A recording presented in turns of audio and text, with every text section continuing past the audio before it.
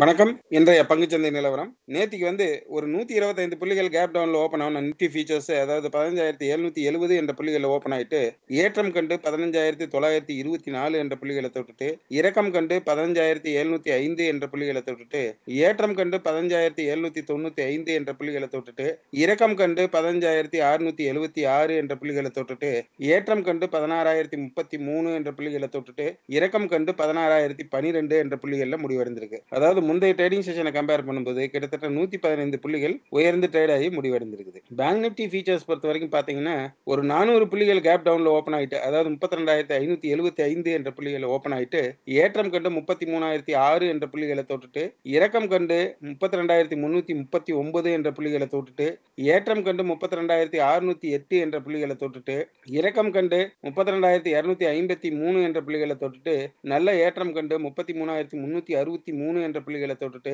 இறக்கம் கண்டு முப்பத்தி மூணாயிரத்தி இரநூத்தி எண்பத்தி ஒன்பது என்ற புள்ளிகளை முடிவடைந்திருக்குது. அதாவது முந்தைய ட்ரேடிங் செஷனை கம்பேர் பண்ணும்போது கிட்டத்தட்ட முன்னூத்தி பத்து புள்ளிகள் வந்து உயர்ந்து ட்ரேட் ஆகி முடிவடைந்திருக்குது. நிப்டி பிப்டி ஷேர்ஸ் பொறுத்த வரைக்கும் முப்பத்தேழு பங்குகள் உயர்வையும் பதிமூணு பங்குகள் சரிவையும் சந்தித்துள்ளன.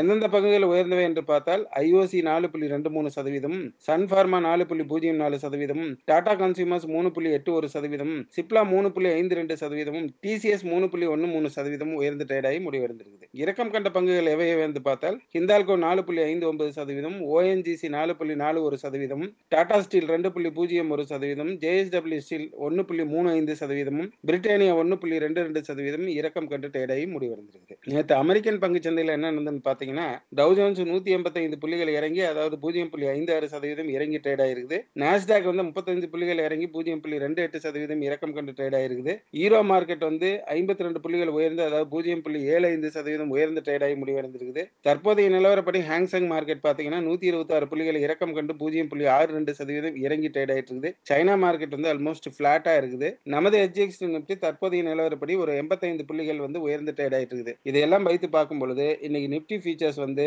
ஒன்னா பிளாட்டா ஓப்பன் ஆகலாம். அப்படி இல்லைன்னா ஒரு ஐம்பது புள்ளிகள் வந்து கேப் அப்ல ஓப்பன் ஆகிறதுக்கான வாய்ப்புகள் இருக்குது. அவ்வாறு ஓப்பன் ஆகும்போது மீண்டும் மேலே செல்லும் பொழுது ஒரு நூறு புள்ளிகள் வரை மேலே சென்று விட்டு கீழே திரும்பும் பொழுது இருநூறுல இருந்து புள்ளிகள் கீழே திரும்புவதற்கான ஒரு வாய்ப்புகள் இருக்கிறது. பேங்க் நிப்டி ஃபீச்சர்ஸ் பொறுத்த வரைக்கும் பாத்தீங்க அப்படின்னாக்க பிளாட்டாவோ அல்லது ஒரு நூத்தம்பது புள்ளிகள் கேப் அப்பில் ஓப்பன் ஆயிட்டு திரும்ப மேலே செல்லும்போது இருநூறுல இருந்து புள்ளிகள் மேலே சென்று விட்டு கீழே திரும்புவது அறுநூறு புள்ளிகள் வரை கீழே திரும்புவதற்கான வாய்ப்புகள் இருக்கிறது. நன்றி வணக்கம்.